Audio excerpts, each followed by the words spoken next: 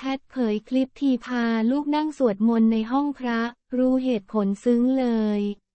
หลังสร้างตำนานโสดไม่เกิน 6 ชั่วโมงสำหรับดาราพิธีกรสาวแพทนปภา ที่เพิ่งจะประกาศสถานะว่าโสดตอนเช้า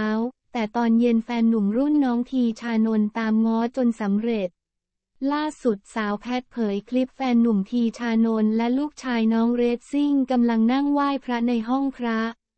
ถวายน้ำแดงและสิ่งของต่างๆ เพื่อแก้บนอยู่ที่ห้องพระอย่างตั้งใจ โดยพีชานนท์บอกเหตุผลไว้ว่าสาเหตุที่มาแก้บนในครั้งนี้ เพราะได้บนกับสิ่งศักดิ์สิทธิ์ไว้ว่า